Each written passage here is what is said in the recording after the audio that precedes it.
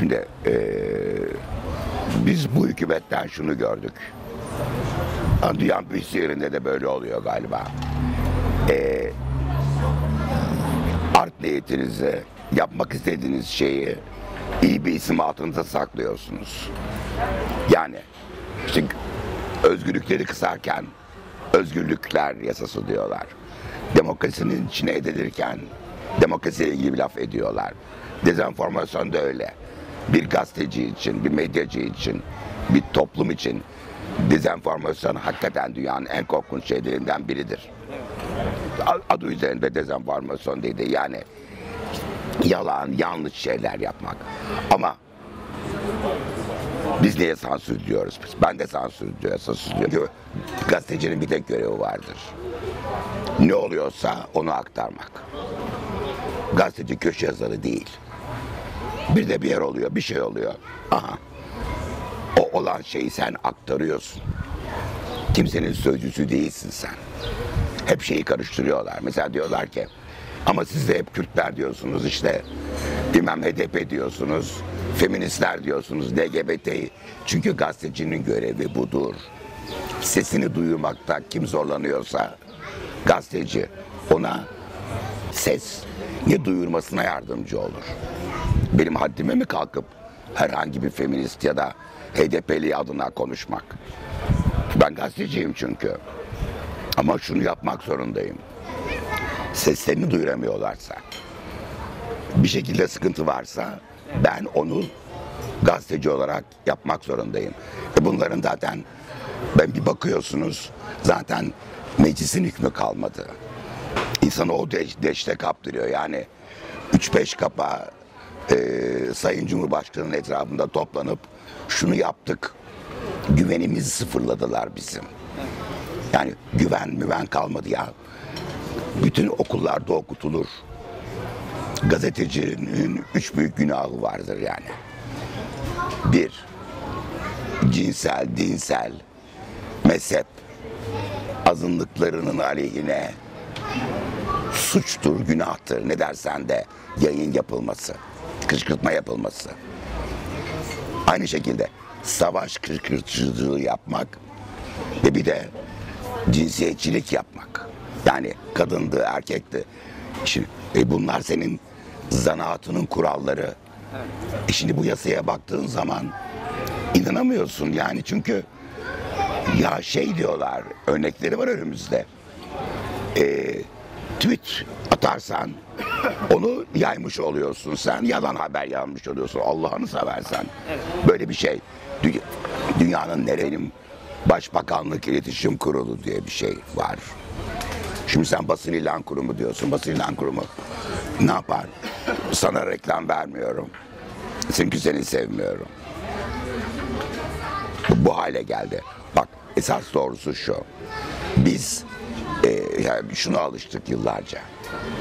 E, bir haber e, anmadan önce zaten sen beni korkutamazsın. Yani yargıya götüremezsin. Benim haberim yayınlanır. Şimdi bunlar baştan seni şey yapmaya çalışıyorlar. Kendi kendini sansür etmeye. Çok tehlikeli evet. Bu, bundan herkes zarar eder. Yani 75 yaşındayım. Neredeyse 50 sene gazetecilik yaptım. Hala da bir şekilde uğraşmaya çalışıyorum etrafımda olup bitenle. Ee, şunu söylemekten sıkıldım. Bu kadar vahim bir şeyle karşı karşıya kaldığımı hakikaten hatırlamıyorum. Ya biz 12 Eylül'de bile bir yol buluyorduk çıkmak için askeri darbeden. Şimdi bunlar sanki her şeyden tırnak içinde ders almışlar. Nasıl sesleri keseriz diye. Yahu zaten şunu da itiraf edeyim. Ee, yani kendimi ele vereyim. Anlayamıyorsun bazen ne demek istiyorlar bunlar. Bu nasıl bir cümle kurmuşlar? Bu nasıl bir haber anlayışıdır? Ama bütün şu yani bu korku nasıl yayılır bir ülkede en güzel? Neyi kullanacaksın? Medyayı kullanacaksın. Klasik örnektir ya sabah çıkarken bile bakarsın. Yağmur yağacak mı haberler ne diyor? Bu işi buradan başlat yani. Şimdi ben e, e, ba- başlarsan ciddi bir şey. Yok efendim çete diyemezsiniz. Ya ne diyeceğiz? Yok efendim yandaş müteahhitler. Bu çok tehlikeli bir durum. Ve şu anda Türkiye içinde bulunduğu bizim şeyimiz, eee, medya halimiz, dediğim gibi bir daha söyleyeceğim. 12 Mart'ı, 12 Eylül'ü, 28 Şubat'ları görmüş bir insanım ben. Şimdi şunu söyleyeceğim yanlış anlaşılmasın. Çok mutluyum kendimden utanarak aktif gazetecilik yapmıyorum. Yani bir yayın organı çıkarmıyorum. Orada editör değilim. Orada muhabir değilim. Çünkü hakikaten kahrımdan ölürdüm. Yani düşünsene mesleğini yapmayı engelliyorlar senin. İşi şeye kadar götürdüler. Yani diyeceksin nereden çıkarıyorsun bunları? Ya örnekleri var işte. 2016 yılında attığı tweet. 2015'in yaptığı bilmem ne. Bu hakikaten çok şey. Ee, bir şey daha söyleyeyim. Benim bu küçük kafam bunu almıyor mesela. Nasıl buna cesaret ediliyor? Niye yapıyorlar? Nereye kadar gidiyorlar? Bu iktidarın bu kadar e, de- delirip e, bayağı hani tamam ben ne dersem o olur'a geçme durumu olmadığına inanmak istiyorum. Ama doğru söylüyorsun, şunu doğru söylüyorsun. Gidiş o gidiş. Yani korku toplumu yaratmak böyle bir şey. Yani şey sanmayalım ille de büyük büyük böyle yollarda SS'ler yürüyecek, kıyametler kopacak. Yavaş yavaş oluyor bütün bu şeyler. Şunu bilmiyorlar. Böyle bir ülkede bu kadar ezilmiş insanlar gerçekten bir dış güç saldırıya karşı seslerini çıkaramayacaklar. Alış yani anlatabiliyor muyum? Yani bir her şeyden korkan bir yığın yapacaksın. Bu çok tehlikeli. Bu çok tehlikeli ve şey Ertan'ı zaten e, işte görüyorsun yani ne gazete var doğru dürüst çıkan.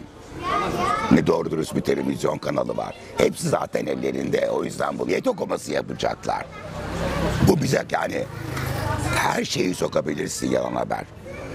Ben, ben diyorum ki mesela siz insanları korkutuyorsunuz, yalan haber yaymaya zorluyorsunuz. Aha bu yalan haber yaymak olacak işte. Ben korkutmuyorum diyecek. Yani bunlar her tarafa açık. E, eskiden yaparlar şey derlerdi. Çok komik şeyler vardı.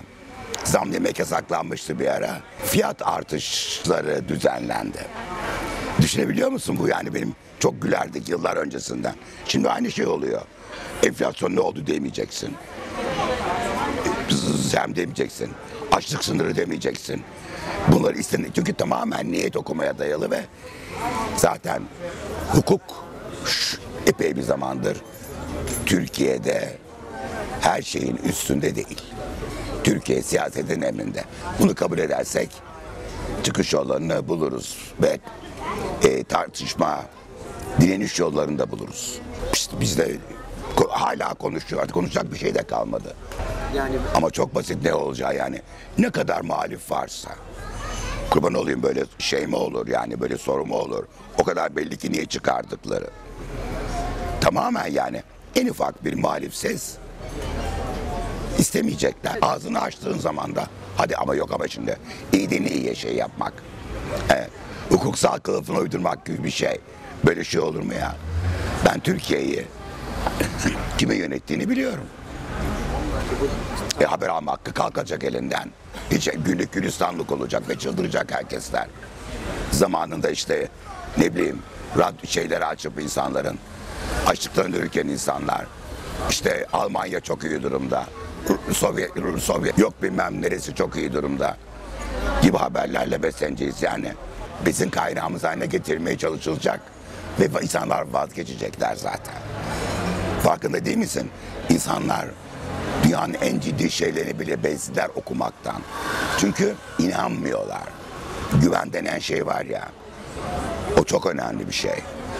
Güvenin sarsıldığı halde bittin. Bizim yapacağımız tek şey meslek örgütü olarak sürekli bunun için sokağa çıkıp bunun anlatmak, uğraşmak. Ama temel sorun muhalefet. Muhalefet bununla uğraşacak yani. Yani muhalefet bizi örgütleyecek. Kimse o muhalefet. Ben ne yapabilirim Allah'ını seversen sen ne yapabilirsin? Eksikliği var mı kurban oluyor benim muhalefet yok ki zaten görmüyor musun? en çok enflasyon olan ülke Kenya'ymış, ikinci Türkiye'ymiş. Bugün okudum bir internet sitesinde. Bunu yazman bile şey olacak, yalan haber olacak.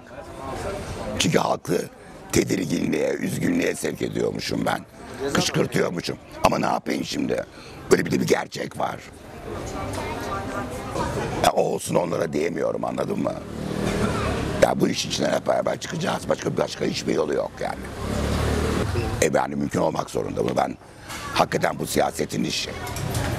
Siyaset bunu yapacak. Yani kolay değil gidip o istemek insanlardan. Yok altılı masa, dokuzlu masa, üçlü masa, beşli masa kurduk. E hadi bakalım. Ben kendi adıma taleplerim olacak tabii gazeteci olarak olacak. Yok yani e, zaten fazla bile konuştum. İnsanlar bunu bile dinlemeyebilirler. Bunlar bizim bildiğimiz şeyleri konuşuyor diyecekler.